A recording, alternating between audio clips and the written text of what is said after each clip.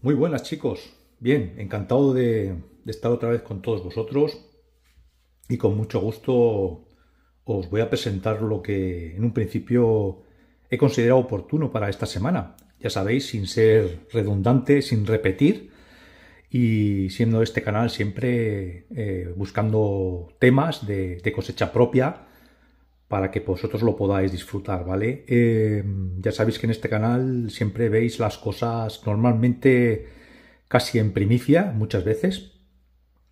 Y, espero que este vídeo, igual que aquel vídeo de las siete medidas de oro, eh, os sirva para os sirva para, para, compartir con los compañeros de clase, para vosotros también que estáis trabajando ya en la, en la, en la vida en la calle también os puede servir, compañeros. Y supongo que a muchos compañeros les va a servir porque realmente es un tema que realmente genera muchísimas dudas. Incluso compañeros muy experimentados mmm, cometen errores, luego lo comentaré. No vamos a decir quién, cada uno que saque sus conclusiones, no se trata de eso, pero he escuchado cosas estos días y quiero un poco ya sabéis que mi respuesta siempre es a través de más de más que un comentario, que no, al final no sirve para nada, eh, decir, mm, decidirme por profundizar en este tema y explicarlo para que, para que el compañero novato o incluso el compañero experimentado tome nota de lo que hay en este vídeo y así pueda, pueda ver. Me he permitido incluso la molestia de, de recabar información, como siempre. Y ya sabéis que estas cosas, muchas cosas, se recaba información. Y nada, y siempre las comparto desde esta pequeña aula si queréis permitir eh, llamar las clases, lo decís vosotros. Eh, yo simplemente considero que son humildes char charlas que hago y luego cada uno pues que, que lo tome como, como, quiera, ¿no? Hoy vamos a hablar un poco de los sistemas de tensiones en España. En España. Eh, no voy a profundizar muchísimo en el tema para no daros la, el tostón, eh, para eso lo dejamos para una clase de, ingeniería o lo dejamos para una clase técnica de, de, un curso medio, o sea, un grado medio o un grado superior. Si no os lo ha explicado el profesor, pues bueno, pues eh, ahí podéis un poco insistir. Os voy a dar unas breves pinceladas de lo que, de lo que creo que mm, debéis saber y en qué os afectan los sistemas de tensiones en España, ¿vale? Ya sabéis que en un sistema, en un sistema TT neutro, en nuestro país, y en algunos países de Europa está compuesto por tres fases desfasadas 120 grados, como se puede ver. ¿eh? ¿De acuerdo? Insisto que, insisto que estos datos muchas veces necesitáis un poquitín de conocimientos previos, algunos estudios previos, porque si no os vais a perder. Pero bueno, lo voy a hacer de lo más didácticamente posible. Está compuesto por tres fases y un neutro. Un neutro que suele estar puesto a tierra. Y las tres fases suelen, como veis, están desfasadas 120 eh, grados, como se puede ver, si esto es una circunferencia de 360, las tres fases están desfasadas 120 grados. Bien, vamos un poco al lío y a lo que nos pertoca. En España vamos a hacer una breve historia porque ahí vienen un poco el jaleo de muchos compañeros, ya os digo, incluso experimentados, lo he visto el otro día, que eh, Normalmente las tensiones de suministro van asociadas al tipo de transformador, al tipo de transformador que hay en la, en la zona, en el barrio, en la manzana, en, la, en el tema, ¿no? en la torre. Eh, lo digo porque según el tipo de transformador mm, os dará un tipo de tensión, os dará otro tipo de tensión. Vamos a intentar un poco mm, eh, dar luz, dar forma a todo esto para que lo tengáis claro y para que lo podáis compartir con vuestros compañeros de instituto y vuestros compañeros de trabajo. ¿Vale? Eh, normalmente los transformadores mmm, se, se dividen en B1, B2, B3, B4, no vamos a entrar en el caso. En España normalmente tenemos un suministro trifásico, normalmente, normalmente casi por, por norma. Luego hay países como Estados Unidos, como Japón, que tienen suministros bifásicos. De ahí un poco viene el lío, porque aquí le llamamos bifásico porque cogemos dos fases, pero realmente hay que un poco, hay que un poco mm, abstraerse del tema. Le llamamos bifásico cuando tenemos dos fases activas. Pero bien, para no mezclar y para no liar mucho la troca, en España tenemos transformadores, siempre es un suministro trifásico. Y a partir de ahí se sacan las tensiones simples o las tensiones compuestas. Me diréis, Héctor, ¿qué es una tensión simple, una tensión compuesta? Bueno, pues es, una, es un concepto básico de electricidad que los estudiantes ya lo sabréis, y si no, pues eh, lo recordaremos y para el profano y para el neófito, la tensión simple es la tensión que se toma respecto a una fase y a un neutro y la tensión compuesta es la tensión que se toma entre las dos fases, ¿vale? Entonces, mm, en España, más o menos en los años 50, los tipos de transformadores que se utilizaban y que todavía nos quedan en el casco viejo, Valencia, Barcelona, Madrid, Mm, País Vasco, en muchas comunidades autónomas que no los han cambiado, tenemos transformadores tipo B1 todavía, en zonas muy, muy concretas. Lo que tenemos una tensión eh, simple de 127 voltios y una tensión compuesta de 220. Luego veremos el caso práctico en qué nos afecta esto a nosotros. ¿Vale? En los años eh, eso me refiero 127 entre el neutro y cada fase. Entre las dos fases, si cogemos fase-fase, siempre tendríamos 220. Por lo tanto, tenemos dos fases activas. Normalmente se cogían dos fases activas para lo que era la fuerza. A mí me ha tocado en los tiempos que estuve fuera trabajando en España. Concretamente estuve en Andorra trabajando muchísimos años. Y ahí me tocaron muchísimos transformadores del tipo B1 y las averías del tipo B1 son muy, muy, muy jodidas. O sea, quiero deciros que entrar en casas antiguas con, conexiones B1, hacer la transformación requería de mucha experiencia. Ahí me encontré con los primeros, las primeras historias. Bien, normalmente el alumbrado se hacía, y aquí en España también, se hacía entre una fase y el neutro y se obtenía 125 y entre las dos fases se le llamaba fuerza. Lo digo para los más jovenzuelos. Luego, a partir de los años 60 y 70, Mm, se utilizaron los transformadores del tipo B2, B2, que son 220-380, que yo muchas veces le digo 380, pero ya no lo es 380, ¿vale? La tensión simple es 220 y la tensión compuesta es 380. Exactamente es 1,73 veces porque es la raíz de 3, ¿vale? No, no, del B1. No nos vamos a extender en temas más complejos, porque ni procede, ni es el canal adecuado, ni, ni, es mi estilo, ¿vale? Mi estilo es un poco llegar a todo el público. Y definitivamente, a partir del 2002, cuando yo ya me, todavía me examiné del, del, carnet instalador, aunque yo tenía la titulación, pero a mí me, soy de los que me tocó examinarme y presentarme a unas pruebas y eran muy, muy jodidas de aprobar, muy fastidiosas. Luego lo, suprimieron. Bien, pues en el 2002 ya se unificaron, el, se, se sacó el nuevo reglamento, antes había otro, el de 73, luego salió el 2002, Luego hay uno, a principios de siglo, antes de la guerra había habido otro, pero un día entraremos en ese tema. Pero en principio son los dos que conocemos. Este último, el 2002, eh, ya sacaron la unificación de tensiones de lo que son 230, fijaros, de 220 a 230 y 400 en tensión compuesta, que son los transformadores tipo B3, que son los que tenemos prácticamente en la actualidad en toda España. Estamos hablando de España, chicos, ¿eh? Luego cada país ya es una historia. Su sistema TT. Bien, eh, resumiendo, hay tres tipos de transformadores, B1, B2, B3, y cada uno con unas tensiones simples de 127, 220 y 230 voltios. Eso es lo que tenéis que saber en un principio y lo que os comunico. Em, para que lo veáis un poquitín gráficamente, es un vídeo cortito.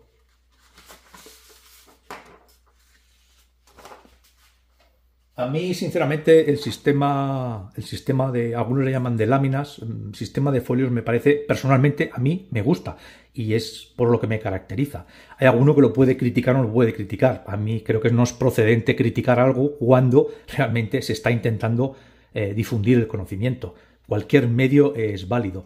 Cada uno utiliza lo que puede, lo que sabe y lo que cree posible. O sea, el criticar realmente, lo digo para alguno por allí, se lo lanzo directamente a la cara, puede criticar o no puede criticar el sistema de papeles, me da exactamente igual, como veréis. No voy a decir otra palabra porque no procede, no procede por la red, pero yo utilizo esto porque realmente considero que es lo que a mí me gusta y lo que me funciona. Por lo tanto, el criticar el, el sistema que yo utilizo para transmitir creo que no, no procede hoy en día. Lo importante es que se quede con el contenido. Lo digo para todos los demás, incluso para aquellas personas. ¿De acuerdo?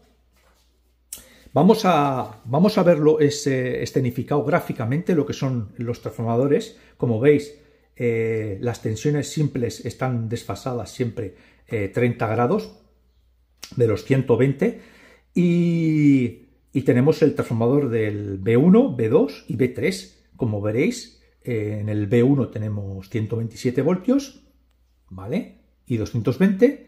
En el B2 220 y 380 y en el B3 actualmente tenemos 230 y 400. Nos podemos encontrar con cualquiera de las tres, ¿vale? Cualquiera de las tres, según nuestra localidad en España, nos las podemos encontrar. Ahora veremos en qué nos afecta.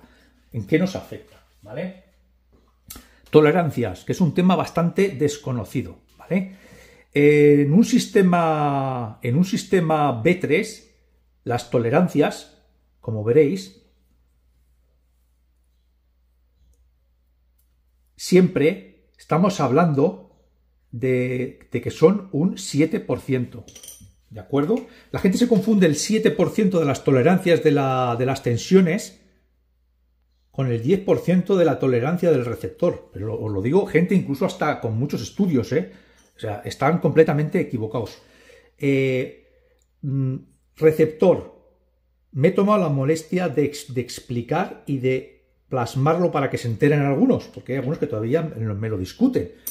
Eh, la tolerancia cuando del, el Real Decreto del 2000 establece que la tensión es del, 7% y siempre, siempre habla de tensiones compuestas, ¿vale? Y la tolerancia del receptor es del 10%.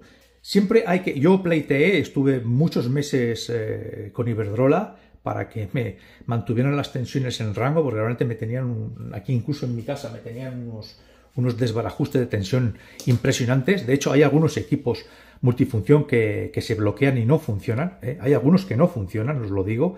Eh, tuve un, un, equipo que se bloqueaba, no voy a decir la marca, pero hubo uno que se bloqueaba y, en fin, hay otros que, no, que lo transmiten muy bien. Bien, como veréis, en el sistema B3 eh, la tolerancia máxima en, una tensión compuesta es de 428, el 7%, y lo mínimo 372. En un sistema eh, B2 lo máximo sería 406 voltios y lo mínimo 353. Chicos, las tensiones siempre tienen que estar en estos rangos y si no están en estos rangos Tenéis que llamar a la compañía para que se mantengan en estos rangos. Y en un sistema B1, las tensiones máximas deberían de ser 235,4 y la tensión mínima 204,6. ¿Vale? Aquí lo tenéis en los, en los tres sistemas. Creo que queda súper gráfico. Em, ahora vamos al lío y, al, y a lo que os quería comentar. ¿En qué nos afecta a nosotros? Prácticamente a nosotros, al instalador, al eléctrico, el sistema de tensiones. Bien, el sistema de suministro. Bien, pues en función de si sea fase o neutro o sea fase-fase, he visto algún vídeo de algún compañero, no vamos a decir el, vamos a decir el pecado, pero no el pecador. Si sois inteligentes lo buscaréis y si no, pues bueno, pues lo, y si no, pues lo tenéis aquí que da por bueno un cuadro cuando las tensiones son de un sistema B1. Las tensiones en un sistema B1, las protecciones, siempre tienen que ser, no solamente tienen que ser a los dos polos. Aparte de que esto es un corte omnipolar, en todos estos son cortes omnipolares. ¿Por qué? Porque cortan las dos fases. Antiguamente en España había corte unipolar, corte a la fase pero ya es obligatorio desde el reglamento del 2002 el corte omnipolar, pero lo que el reglamento te está diciendo, lo que el reglamento te está diciendo es que en un sistema monofásico eh, la protección en un sistema a, dos polos solamente eh, puede ser en la, en la, fase. Y por eso la fase tiene que ir conectada correctamente en, el, en esto. La diferencia entre estos dos magnetotérmicos, quiero que lo veáis, a ver si se aprecia aquí, es que este tiene la protección nada más que a un polo. Como veréis, es neutro. El, neutro tiene un corte, pero es un, es un, corte que no tiene protección. Como veréis, no tiene, no tiene la estrellita. Sin embargo, este ABB es un corte a los dos polos también, pero tiene protección magnetotérmica a los dos polos. Y es ahí la, diferencia. Nosotros no podemos dar eh, por bueno un cuadro cuando tenemos un transformador B1, o sea, fase-fase 220, 220 entre las fases, y tengamos una protección nada más que a un solo polo. No podemos decir que, tenemos bien la instalación. Le tenemos que decirle al cliente, oye usted, no, tiene que cambiar todas las protecciones ¿eh? y las tiene que poner protección magnetotérmica a los dos polos. Eso es lo que a nosotros nos, nos atañe. Si nosotros tenemos un sistema B3 no tenemos ningún problema, o un B2. ¿Por qué? Porque nosotros estamos cogiendo tensiones simples. Entonces la tensión simple siempre tenemos un neutro. Entonces el neutro no va protegido. Los neutros tampoco se cortan ni se ponen fusibles, ¿vale? Solamente se protegen los, los neutros en los sistemas de transformadores B1, mal llamados eh, bifásicos, se le dice vulgarmente bifásico, pero quería acentuar un poquitín aquí el tema, porque no son bifásicos realmente. Son bifásicos porque tienen dos fases, pero realmente no es una distribución bifásica, porque ya de por sí existe una distribución eh, bifásica contemplada como en Japón, como en Estados Unidos, que están desfasadas 180 eh, grados, ¿de acuerdo? O 90 grados. Entonces, eh, es importante recalcar, aquí tengo un DPN, como veréis, que tengo el neutro que no está protegido, pero si me lo corta, me lo corta porque baja la palanca, pero lo que tengo realmente protegido es la fase, por eso me está indicando claramente que aquí va el neutro en un sistema. Ojo con este, con este dato, chicos, porque es muy importante para cumplir normativa. Nosotros en un sistema eh, B1, con las dos fases a 220, no podemos colocar este tipo de, protecciones. No estamos cumpliendo y no estamos protegiendo la otra fase, ¿vale? Nosotros tendríamos que estar poniendo protecciones que tengan protección magnetotérmica a los dos polos. Creo que quede muy claro, clarinete. Y luego, otra cosa muy importante para finalizar, como veréis, ya os expliqué el otro día, para seguir redundando en mi vídeo, yo sí puedo redundar en mis vídeos, los demás no, para eso son míos. cuando tengamos que cuando tengamos que medir, pues simplemente en muchos equipos le decimos que lo hacemos a lo hacemos a tres a tres cables cuando tenemos o sea, todos los equipos normalmente siempre hacen las medidas a tensiones simples, o sea, entre fase y neutro. Em, cuando hacen la impedancia de línea, de bucle, siempre lo hacen con, sistema eh, simple de tensiones. ¿Qué es lo que ocurre? Que cuando le cambiamos y ponemos eh, dos fases, automáticamente el equipo interpreta donde tiene que haber un neutro, le ponemos una fase, entonces con, tierra ya no le cuadran los números y automáticamente da error el equipo. Entonces en muchos equipos lo tenemos muy sencillo para hacerlo a tres cables, ¿vale? Porque con tierra siempre se toman las lecturas o lo hacemos a dos cables. ¿Vale? Cuando tengamos un sistema B1 lo hacemos a dos cables, ¿vale? Y podemos tomar eh, la impedancia de, o sea, lo que es eh, la impedancia de lazo de defecto, la tomamos a dos cables, ¿vale? En la impedancia de línea no hay problema porque la va a tomar igual, pero eh, con respecto a tierra, todas las medidas que haga con respecto a tierra sí que le va, sí que le va a afectar, ¿vale? Y cuando tengamos un transformador tipo B2 o B3, pues le damos a, tres cables. Es así de simple. Creo que con este vídeo de oro, espero que compartáis con todos los compañeros, os sirva un poco para, para, para, aclarar muchos de los de los de los del desconocimiento que existe muchas veces muchos compañeros y porque se lían y habéis visto aquí un poquitín la breve historia de dónde surgieron todo este tipo de tensiones aquí en España y de cómo y cómo nos y cómo nos afectan a nosotros en cuestión de protecciones y en cuestión de lecturas, ¿vale? No vamos a ahondar más, pero bueno, en un principio a nosotros nos afectan en esto, en un principio de, las dos, de, los, de los dos más importantes, luego también hay más, pero un poquitín para que esto. Si queréis más información, pues vais a tener que hincar los codos, vais a tener que buscar más, pero bueno, con este vídeo yo creo que ya eh, tenéis bastante tenéis bastante ganado, ¿vale, chicos? Venga, espero volveros a ver en el siguiente vídeo. No olvidaros de suscribiros a este, a este pequeño canal, que siempre lo hago desde una, desde una cocina. y, nada, y nos vemos en el siguiente vídeo.